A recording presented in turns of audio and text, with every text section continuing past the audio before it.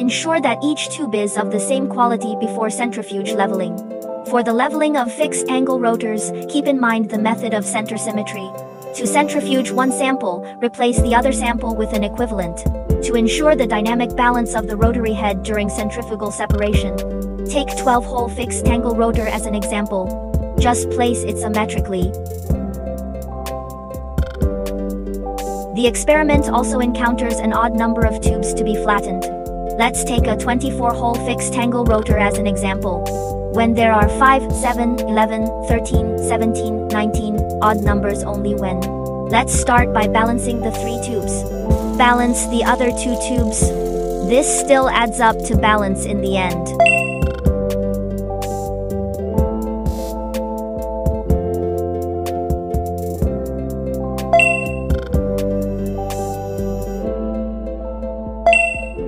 When there are an odd number of centrifuge tubes.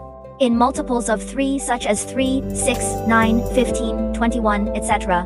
You can refer to the video for clockwise or counterclockwise placement.